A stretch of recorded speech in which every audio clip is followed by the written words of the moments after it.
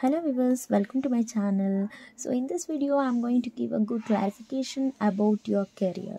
So uh, many students uh, who are all pursuing in puc so definitely you have a confusion what next. So if you choose a bca course it is a very good course for and the people who had a dream towards an it so the best eligibility criteria for BCA is 10 plus PUC means you should complete your SSLC as well as PUC in any stream. Any stream in the sense uh, you may come from commerce stream or you may come from science stream. So both having an eligibility to do the BCA so this is the first step. So but puc is mandatory. So see students uh, so you can't able to come to this course after finishing 10th standard. There's only one chance that you have to finish your puc in any stream whether science or commerce then you get an eligibility. Second thing is after finishing your three years of bca so the th- main thing is the salary. So your bc after finishing bca your salary should be depend on college. What is that college? College means so you should choose a very best college to do the bca because in many colleges uh, standard colleges you get a campus selection. Through the campus selection you get very uh, good salary.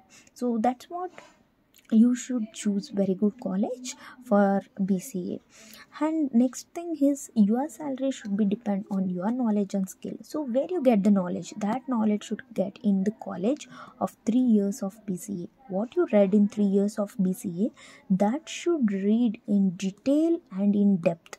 Then you should crack your interview in good way and you get an attractive salary. So that is one thing. So don't read your uh, complete syllabus for the sake of the marks card or marks.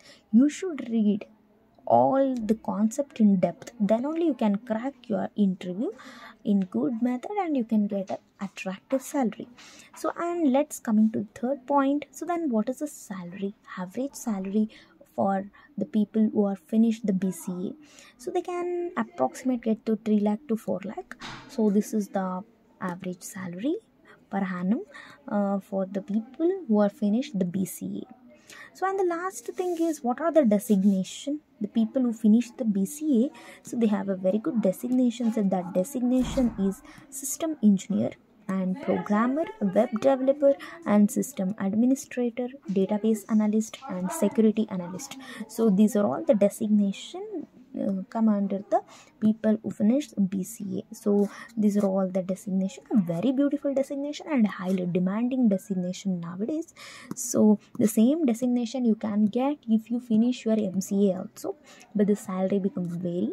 Uh, so this is the thing uh, in this uh, part one. I'm going to giving a clarification. Hope you all this video helpful for you so in next upcoming video i'm going to give an next um master degree or a post graduations uh, details so uh, so these are the four points very important for the people who need to uh, survive in bca or uh, the people who need to enter the IT field. So all the best.